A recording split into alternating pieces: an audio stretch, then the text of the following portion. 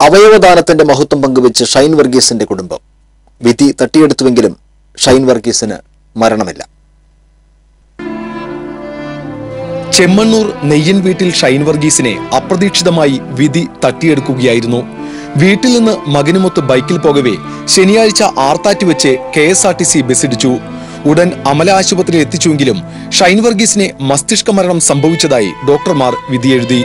L S G D assistant engineer ആയിരുന്നു നാൽപ്പത്തിയെട്ടുകാരനായ ഷൈൻ വർഗീസ്. കുടുംബനാഥന്റെ അപ്രതീക്ഷിത വേർപാടിന്റെ ആഘാതത്തിനിടയിലും കുടുംബം അവയവദാനമെന്ന ആ നല്ല തീരുമാനമെടുത്തു.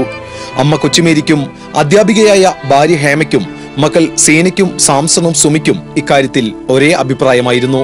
അവയവദാനത്തിന്റെ മഹത്വം മക്കളെ പഠിപ്പിച്ച ആ നല്ല പപ്പയെ കുടുംബം വാക്ക് നിറവേറ്റിയാണ് യാത്രയാക്കുന്നത്.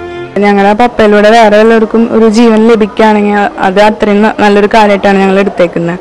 അതുകൊണ്ടാണ് ഞങ്ങൾ ഈ കാര്യത്തിന് സന്നദ്ധത പ്രകടിപ്പിച്ചത്. മരിച്ചു കഴിഞ്ഞാൽ എന്റെ ദാനം ചെയ്യാൻ പറ്റുന്ന അവയവങ്ങൾ കൊടുക്കാൻ പറഞ്ഞിട്ടുണ്ട്. പക്ഷെ അതിങ്ങനെ എഴുതി വെച്ചിട്ടുള്ള രീതിയല്ല. ഞങ്ങൾ ഒരു ആഗ്രഹം പ്രകടിപ്പിച്ചിട്ടുണ്ടായിരുന്നു. ഷൈൻ വർഗീസിന്റെ വൃക്കയും കരളും ഇനിയും മറ്റ് ശരീരങ്ങളിൽ പ്രവർത്തിക്കും.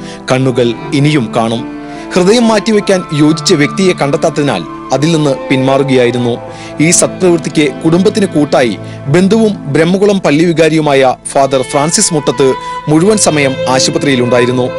കുന്നംകുളം മണ്ഡലത്തിന്റെ പ്രതിനിധിയും മന്ത്രിയുമായ എ സി മൊയ്തീൻ അന്ത്യോപചാരം അർപ്പിക്കാൻ ആശുപത്രിയിലെത്തി. അമല ആശുപത്രിയിൽ ആദ്യമായാണ് മസ്തിഷ്ക മരണം സംഭവിച്ച വ്യക്തിയുടെ അവയവദാനം നടത്തുന്നത്.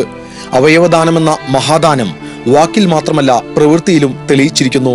ചെമ്മണ്ണൂരിലെ നെയ്യൻ കുടുംബം അതുകൊണ്ട് ഷൈൻ വർഗീസിന്റെ കണ്ണുകൾ ഇനിയും ലോകം കാണും. മറ്റുള്ളവരും മാതൃകയാക്കട്ടെ. T C V Thrissur.